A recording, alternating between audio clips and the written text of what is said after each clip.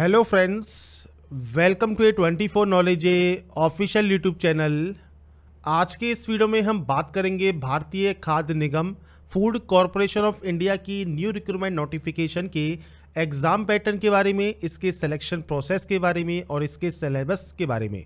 तो फ्रेंड्स यहाँ पर जिस नोटिफिकेशन के बारे में हम बात करने वाले हैं, ये है आपके कैटेगरी थ्री एफसीआई में, जो कि रिक्रूटमेंट एडवर्टाइजमेंट नंबर है ज़ीरो वन स्लैश दो हज़ार बाईस जिसके लिए फ्रेंड्स आप ऑनलाइन आवेदन कर सकते हैं 6 सितंबर 2022 से।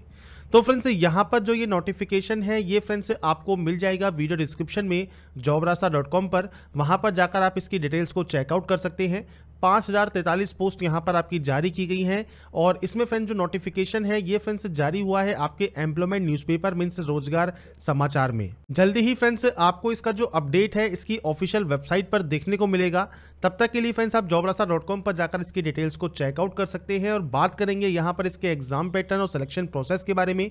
और इससे वीडियो को स्टार्ट करने से पहले, अगर अभी तक आपने हमारे चैनल को सब्सक्राइब नहीं किया है सब्सक्राइब करें शेयर करें लाइक करें, जिससे आपको आने वाली सारी अपडेट्स मिल सके।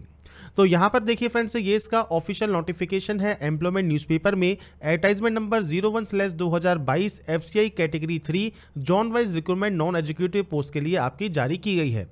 यहाँ पर देखिए फ्रेंड्स नॉर्थ जोन में जो वैकेंसीज है, उसमें टोटल नंबर ऑफ़ पोस्ट हैं दो हज़ार तीन सौ अट्ठासी।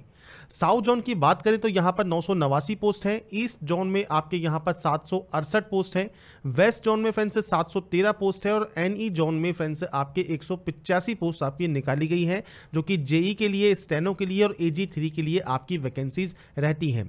एज लिमिट फ्रेंड्स एक आठ दो को काउंट होगा, जेई के लिए अट्ठाईस साल, स्टेनो के लिए पच्चीस साल और ए हिंदी के लिए अट्ठाईस साल और ए की बाकी other post, general account, technical, depot के लिए सत्ताईस साल आपकी अपर एज यहाँ पर रहेगी। बात करें अगर इसकी क्वालिफिकेशन के बारे में तो फ्रेंड्स जेई सिविल के लिए आपके पास डिग्री सिविल में और या फिर डिप्लोमा सिविल में एक साल के एक्सपीरियंस के साथ होना चाहिए।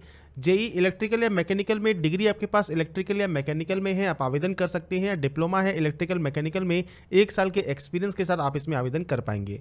स्टेनो में फ्रेंड्स डिग्री और साथ में स्पीड मांगी गई है चालीस वर्ड पर मिनट इंग्लिश में और अस्सी वर्ड पर मिनट आपकी शॉर्ट हैंड में। एजी थ्री जनरल के लिए फ्रेंड्स ग्रेजुएट डिग्री किसी भी डिसिप्लिन में है, आप आवेदन कर सकते हैं। अकाउंट में बैचलर डिग्री कॉमर्स में आपसे रिक्वायर्ड रहेगी। डिपोर्ट में ग्रेजुएशन डिग्री किसी भी स्ट्रीम में है। टेक्निकल में बीएससी की डिग्री है बीई बीटेक की डिग्री है। रिलेवेंट डिसिप्लिन में आप आवेदन कर सकते हैं।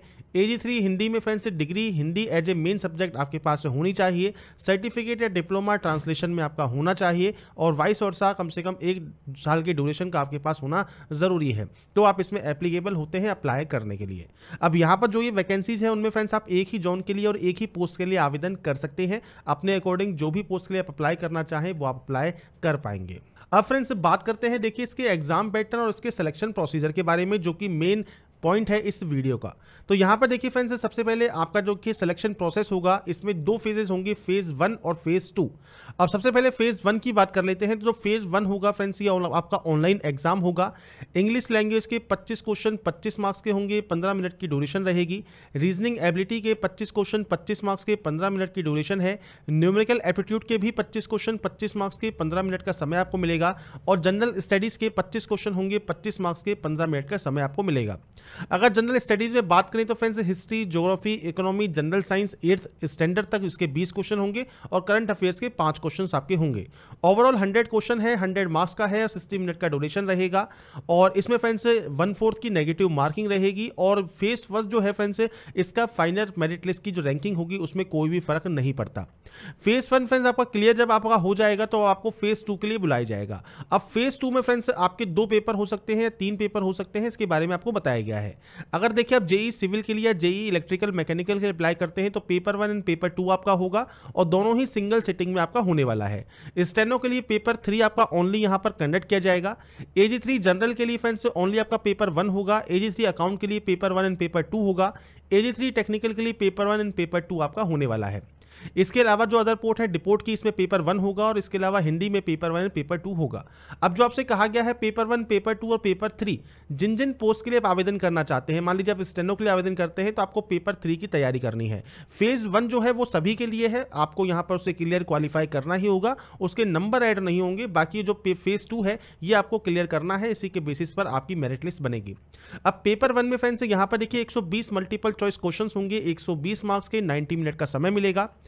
इसके अलावा फ्रेंड्स जो पेपर टू होगा, वो पोस्ट स्पेसिफिक होगा। जैसे आपका यहाँ पर ए थ्री हिंदी में पेपर टू है, इसके अलावा फ्रेंड्स आपका जेई में है। इसके अलावा फ्रेंड्स यहाँ पर आपका नीचे आएँगे तो ए थ्री अकाउंट में है टेक्निकल में है। तो इसमें जो भी आपका यहाँ पर पेपर टू होने वाला है, ये सिक्सटी क्वेश्चन होंगे और एक मार्क्स का होगा सिक्सटी मिनट का समय आपको मिलेगा। इसके अलावा फ्रेंड्स यहाँ पर पेपर थ्री जो है, जो कि स्टेनो के लिए है, इसमें 120 एमसीक्यू होंगे और आपका यहाँ पर 120 मार्क्स का होगा 90 मिनट का समय मिलेगा। नेगेटिव मार्किंग फ्रेंड्स यहाँ पर वन फोर्थ की रहेगी। अब ये तो हो गया इसके बारे में कि paper one, paper two and paper three में क्या क्या होगा। अब पेपर वन में आपसे जो क्वेश्चन पूछे जाएँगे, उसमें देखिए आपके इंग्लिश लैंग्वेज जो कि पच्चीस क्वेश्चन होंगे, पच्चीस मार्क्स के बीस मिनट का समय मिलेगा। रीजनिंग एबिलिटी के पच्चीस क्वेश्चन पच्चीस मार्क्स के बीस मिनट का समय मिलेगा। न्यूमिकल एप्टीट्यूड के भी पच्चीस क्वेश्चन पच्चीस मार्क्स के बीस मिनट का समय आपको यहाँ मिलेगा। जनरल स्टडीज़ के फ्रेंड्स पैंतालीस क्वेश्चन होंगे, पैंतालीस मार्क्स के, जिसमें देखिए हिस्ट्री जोग्राफी इकोनॉमिक के पच्चीस क्वेश्चन होंगे। जनरल साइंस के फ्रेंड्स दस क्वेश्चन होंगे। करंट अफेयर्स के पाँच क्वेश्चन और कंप्यूटर अवेयरनेस के पाँच क्वेश्चन आपके होंगे और इसके लिए तीस मिनट का समय आपको मिलता है। ओवरऑल 120 क्वेश्चन 120 मार्क्स के 90 मिनट का आपको यहाँ पर समय मिलेगा।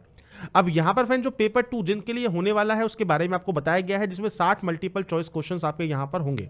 अब इसमें फ्रेंड्स यहाँ पर आप देख सकते हैं कि आपके जो सब्जेक्ट्स हैं, उसके अकॉर्डिंग आपके जो क्वेश्चन हैं, वो आपको यहाँ पर दिए गए हैं कि क्या क्या आपका यहाँ पर पूछा जाएगा। इसके बाद फ्रेंड जैसे साठ मल्टीपल चॉइस क्वेश्चन है सिविल इंजीनियरिंग में, या फिर साठ मल्टीपल चॉइस क्वेश्चन आपके कॉमर्स से रिलेटेड है, साठ मल्टीपल चॉइस आपके यहाँ पर एग्रीकल्चर बॉटनी जोलॉजी से रिलेटेड है, और साठ मल्टीपल चॉइस क्वेश्चन आपके जनरल नॉलेज जो कि फ्रेंड्स हिंदी लिटरेचर क्योंकि ये डिपोर्ट हिंदी की वैकेंसी है तो फ्रेंड्स उसके अकॉर्डिंग यहाँ पर क्वेश्चन आपके पूछे जाएँगे।